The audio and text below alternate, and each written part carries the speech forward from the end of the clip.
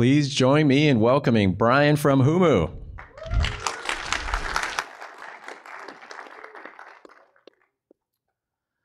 So, who am I? Uh, this one goes out to all the Dr. Seuss fans in the audience. At the far end of town where the grickle grass grows, I began my career in security, protecting ones and zeros. Back in 2002, before cyber was a thing, and clouds were just something about which you might sing. From the Department of Defense to banks and universities, then on to Netflix to get paid to watch movies. I led Netflix's implementation of Zero Trust, for which most people think BeyondCorp's a must. Now sit back and get comfy. I'll spin you a yarn of how to use one pair of hands to protect your business from harm. Oh, thank you. Uh, so what have you gotten yourself into? Let's say you're taking over uh, a security program or starting a security program from scratch at a small company. You're maybe a security engineer leveling up. Maybe you're a manager whose role is expanded. Or maybe you're the poor IT guy or girl that drew the short straw. So first, congratulations. Uh, also, second, I'm sorry. So the, on the plus side, you get to do things from scratch, quote unquote, do it the right way. Uh, but just remember that the right way is very subjective. So two years from now, people could be looking back and think, well, what idiot did this? And you'll have to own up and say, oh, sorry, that was me. Um, be ready to wear many hats. At a, at a startup, you're definitely going to do a ton of different roles, uh, definitely outside of security. So don't don't scope your role too narrowly at first. It'll definitely narrow naturally over time. For example, I'm kind of handy, so I spent a lot of time fixing the coffee machine. Luckily, now we have a third party that does that. Uh, let's see. Ideally, you're not going to want to be just a heads down security engineer. You're definitely going to need those skills, but you also want critical social skills, shall we say, because you're going to be interacting with a lot of different teams around the company engineering, IT, legal, sales, uh, leadership, ideally. Um, so remember that you're not just setting up security controls and all the techie stuff. You definitely have to start setting security culture. Uh, how do you want your security team to interact with people? How do you want them to interact with you? How do you want security to be valued in the company? So why do you exist? As the Wu-Tang Clan says, cream or cash rules everything around me. Uh, you need to help that the business get that dollar dollar bill, y'all. So the three most important things I do for the business are making sure we don't get hacked, uh, dealing with compliance, and filling out secure, incoming security questionnaires. They all either directly or indirectly bring in money. So you're either winning customers, you're closing those deals, you're meeting legal requirements to stay in business, or you're keeping the lights on. And by the way, uh, just because it doesn't directly bring in money, always remember to protect your customers' data because it's the right thing to do. Uh, keep in mind that you're an advisor, you're not the police. People, uh, the people can, in the business can take your advice or just leave it. You, you, need to understand what's important for the business and not just you. So maybe you have an urgent vuln to fix, or maybe you've got a shiny new tool to buy, but the business might weigh the risk benefit and or the cost benefit and say, eh, it's really not worth it. Sorry, you have to be okay with that and move on uh, you might think security to startup isn't really that big of a deal because oh we're too small to get attacked. But no there's i mean as we know there's spray and pray attacks. But also even just on linkedin there's plenty of information to, to uh, launch spear phishing attacks against you. We've seen that definitely. We're a small company Depending on your customer data and the industry you're in, you may start getting more targeted attacks. Uh, uh I like to put out the, the, the, equation of startup minus security equals easy money for attackers because you're going to you're going to uh, face all the same attacks like ransomware, extortion, data theft, all the sort of stuff that the big companies do. But attackers know that you do not have a security team, or maybe if you're lucky, one person. So strategy, the first part here. Uh, so first step is finding a company with management that supports security. You definitely need buy-in from the top to get anything done. Otherwise, you are going to start crying very soon.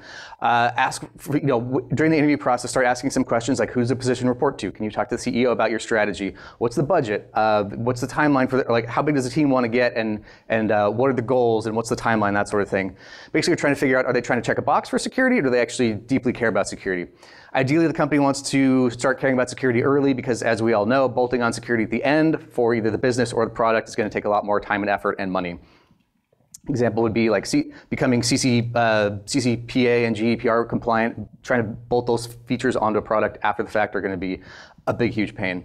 And then before putting in the controls and processes and procedures, always ask why. So take a step back and, and think, okay, well, what are we trying to do here? So what's the reasoning behind it? How will it actually benefit us? Is there a newer, or a better way to do it? Uh, which is one of the benefits of starting from scratch. You can you can do that.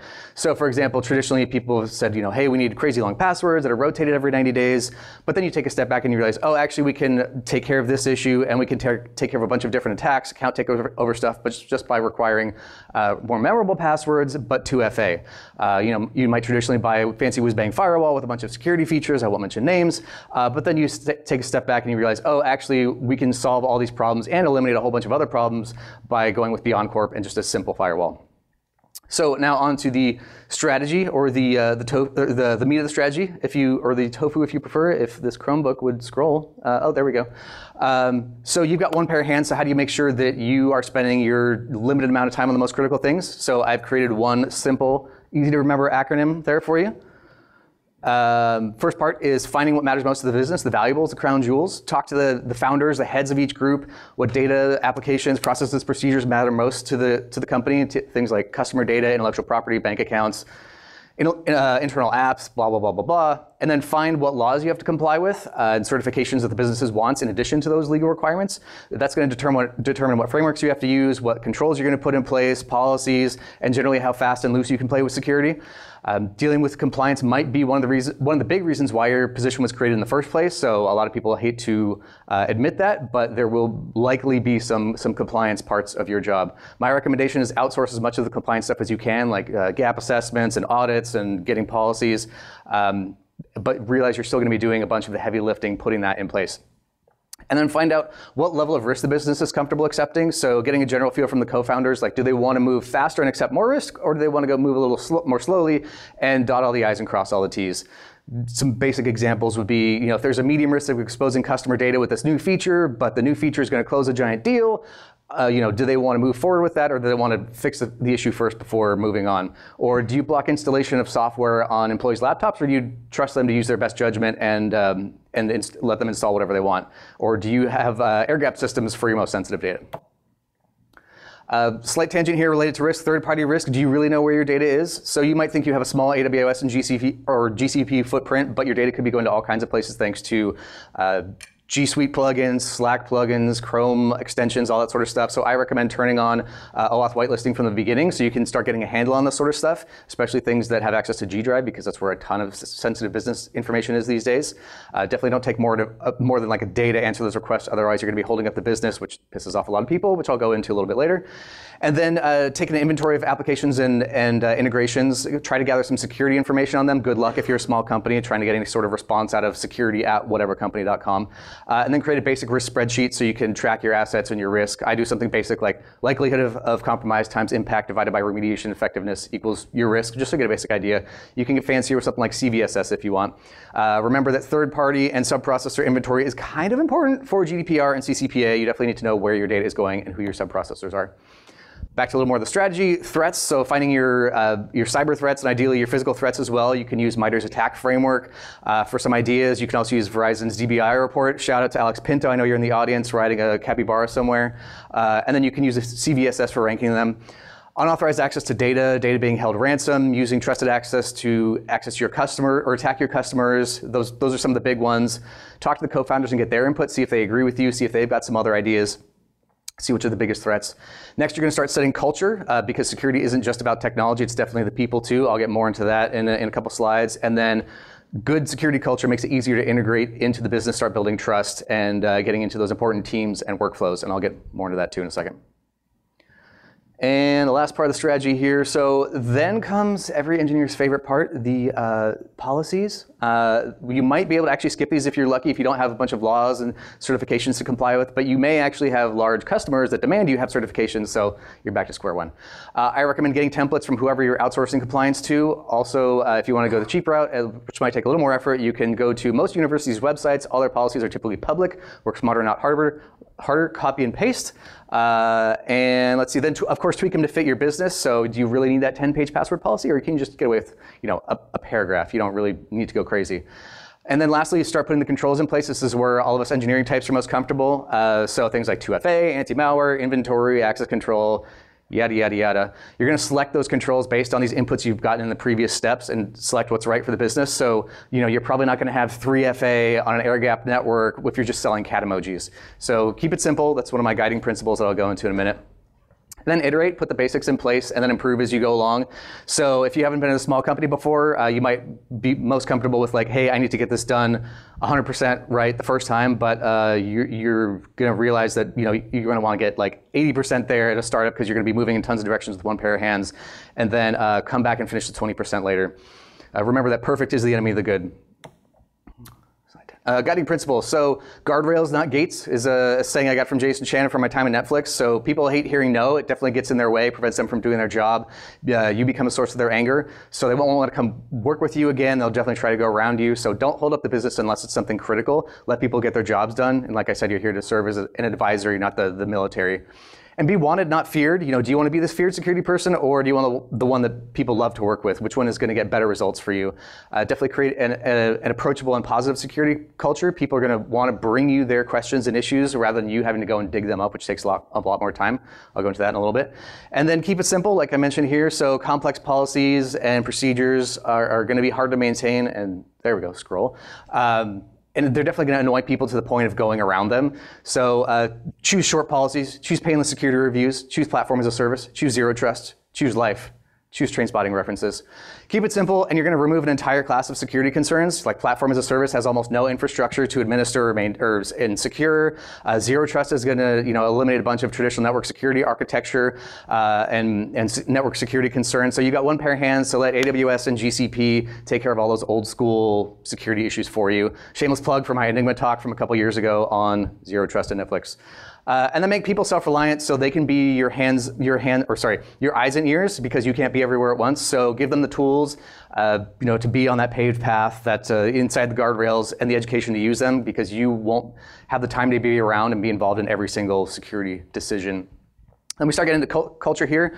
How well you integrate into the business is uh, how, how well you integrate security into the business is going to depend on the principles you set, like the also the culture and how you're you and your future team interact with people. So be transparent. You know, if, if you're going to install something on someone's laptop, the first thing they're going to be like, like, what's what's going on here? Are you spying on me? It's like, no, we're this thing is going to catch malware for you. It's going to it's going to protect you. It, there's literally no way it can spy on you. Here's the manual if you want to double check. Just having some some rapport with the person, showing them what's going on, and and being transparent on on your decisions appreciate people, so say thank you. Uh, it's simple, but it, it, goes a long way. Just hearing thank you in the office really goes, uh, really improves a lot of things like a relationship with people. Um, you know, what I do is uh, if someone has helped improve security some way, or they've reported a good phishing attack or whatever, I give a Security Shark award at our all, all hands meeting. So it's like an Amazon gift certificate. I'll say, hey, person X did this, thank you very much, and give them a little reward. Gets gets the word out there, keeps security in people's minds, and also says thank you to the person and be humble. So no one works. No one wants to work with a brilliant jerk. We've all worked with brilliant jerks. Uh, I do jujitsu, and it's taught me many things. Most importantly, is that you're going to learn, of course, from people above you, and you know your peers probably, uh, ideally. Uh, but you're also going to learn from people below you. So treat everyone with respect. Treat everyone as a pro that you can learn something from. Uh, you know, say like, hey, this area is not my area of expertise. Can you teach? Can you teach me something about this, and we can work together on this issue? It's exactly what I did with some AppSec vulns we had. I can barely spell AppSec, so I went to our our, pers- our head engineer and was like, "Hey, we've got this issue. Can you explain it to me? Can we work together? Like, how can we fix this?" And the two of us worked on it together, which goes much better than just like, "Hey, fix this for me." Uh, feedback, so you can't improve, and you definitely should want to improve. So you can't improve in a vacuum. Ask people for feedback. Uh, see the conversation with examples like, "Hey, we just rolled out this tool. What do you think about it?" Or, "We're going to do this. What do you think about that?" Or, "In this meeting, I said this. Did I sound like a jackass? What do you think? How can I how can I improve?" Empathy, so always assume good intent. You know, people are just trying to get their jobs done. Um, you know, some traditional security person might hear like, oh, hey, person comes up to you and says, I need an FTP server right now. Like, I need to transfer this file. And you might go, whoa, a head explode. But no, take a, take a step back and realize, okay, let's dig in a little bit. This person's trying to get their job done. Okay, they have this important file for the CEO or whoever. They need to transfer it now. They just didn't realize that we've got a paved path here to like get this transferred security and quick, uh, securely and quickly. Or maybe they don't have an option right now. So then you come up, you work with them to come up with a more secure solution. So always assume good intent. Uh, the little things, speak English, not techie. Uh, a couple of these points were in some of the other talks as well. Um, it definitely alienates people if you're going to talk about dilithium crystals and rotating your cables every 100,000 packets, that sort of thing. Uh, you know, if you're talking to legal, they're going to be like, what in the hell are you talking about? They're not going to want to come back and talk to you again. So um, tailor your, your level of techie to the audience and uh, say hi in the hallway, make eye contact, just basic interpersonal skills. I mean, not just on your team, but like random people in the office. Uh, it definitely improves the uh, the culture and, and helps get you um, get you integrated into the company. Um, let's see. And also try it out in the real world. It's nice. Uh, and then last thing on security culture is setting the elevator back down. So use your position of power at the top to help out others below you. We're never going to increase diversity or fill hiring gaps if you don't get out there, like spend some effort trying to get out there, finding women and minorities who either work with you or outside the office, interns, recent college graduates who are trying to start their careers, invite them to conversations and projects invite them to industry events, try to help them try to help them build their network, give them career advice. Uh, high school teachers definitely need people to come talk and inspire their students. You can skip fancy universities. People at uh, community colleges, high schools, and poor school districts are going to definitely appreciate it and use it a lot more. Uh, integrate into the company, socialize, so start building relationships and trust across the business. Um, you know, you, you're going to need to work with engineering for production type stuff, IT for malware and corporate type stuff, legal for contract review, uh, sales for incoming security questionnaires. Go talk to the sales team and ask how many deals have we lost because we didn't have security thing X. Um, and that'll show that you're trying to help out the security team. You can also take that number to leadership and say, hey, we need to spend a bunch of money, and here's one of the reasons why. We, you know, trade-off of, of costs there. Um, oh, time's really running out. Uh, and then find the, the, major stakeholders and the team leaders, uh, meet with them regularly over lunch and one-on-ones, and then try to build relationships with people like I talked about. Uh, increasing the visibility. So you want to find the security issues uh, and also keep yourself visible in the eyes of, of the rest of the company. So you know, have new employee security training, yearly security training, developer security training. Go to the other teams all hands. It's like a fly on the wall to keep your finger on the pulse and hear what's going on security related there. Of course, don't over communicate because people are going because people are going to get uh, alert fatigue and just start ignoring you after a while. And remember to tailor the content to the specific audience. Don't blast out an email to the entire company if it only applies to half the company and then recruit people on the other teams who are interested in securities to be your, to be your eyes and ears and potentially hands to help you fix issues and report things. Collaborate. Don't be a dictator. Don't just throw stuff over the fence. Like I mentioned earlier, uh, it's going to go much better if you say, "Hey, how can we work on this together?" rather than just like, "Here, please fix this problem." Um, engagement. So we all know security is a dry topic. Like, hey, pick a strong password. Don't share your password. Don't do this. Don't do that. Uh, I like to get creative, make it a little fun. Um, here is the Security Shark Award that I hand out with the Amazon gift certificate at the all hands meetings. Uh, when I was at Netflix, uh, did some uh, security education posters around the office in October. This one was pushing password managers. Who doesn't love hedgehogs? The head of legal said she loved this one. Um, also, two-factor auth. Uh, I know somebody here who's attending had an icon of a sloth. Um, thank you. Uh, and then the last one, or actually a couple more slides. Uh, at our White Elephant Christmas party a couple years ago, my contribution for the gift pile was a picture of myself, which people thought was hilarious, until I told them that um, it, there was a hidden gift card in there. So they did the trading and then eventually pulled it apart. They didn't find a gift card. So what they did, they took a while, but they eventually found out if you held the picture over heat source, the Amazon gift card was written in lemon juice and then it appeared. The CEO loved that so much that he now hides this picture regularly around the office with another card hidden in it, a coffee card. Uh, and then if you find it, you get to hide it for the next person. People love that so much that they took my picture and then put it on uh, put on T-shirts for our one of our Halloween costume competition things, and on the back you'll see there's a bunch of letters, and if you unscrambled it, you found out where the prize was. Uh, now I have a picture of I have a T-shirt with my picture on it, which is weird. Uh, anyway, I love wearing it around. It's great. Make me look famous or something. Uh, and Last thing, oh good, I think it's going to work out. Uh, physical security. Why would you care about physical security? Um, you know, maybe you want to learn something new. Um, you know, really, who else is going to do it at a startup? So there's a lot of similarities with infosec. So you've got badges and doors for authentication and access controls. You got cameras facing ideally out uh, the external doors uh, for after-the-fact monitoring. Remember, do not face the cameras in. That tends to creep people out. Uh, and likely, you're not going to have alarms because ideally, people are taking their laptops home at, home at the end of the day. You've got to be on corporate network, so if someone does plug into your network, whatever, that's nice. Uh, and then, um, you know, people also forget to set alarms anyway, so they're kind of useless. Yes, sir, thank you. Uh, and then um, other things, you know, like you're only going to have to worry about theft for really the first few years. But as you get bigger, you might want to start investing in guards, and there could be domestic violence issues is one of the big ones that comes up, uh, targeted attacks, um, higher, you know, as your as your uh, uh, leadership gets higher profile, maybe attacks against them, that sort of stuff. Uh, you know, I, have heard of things like teams of doing international extractions on like big physical security teams, but don't worry about that. Really, all you have to worry about is theft, keeping the doors locked, and then auditors to satisfy, uh, or uh, cameras to satisfy the auditors, and potentially like tracking down what, what got stolen. Uh, and I went a little fast because we lost some time with filling the theater, but I think I got in under the wire. Um, I don't think I have any time for questions but I'll take softball questions outside. Uh, and then if you want to, you can add me on LinkedIn. I will be happily answer any questions via LinkedIn or just find me outside and ask your questions. Thank you.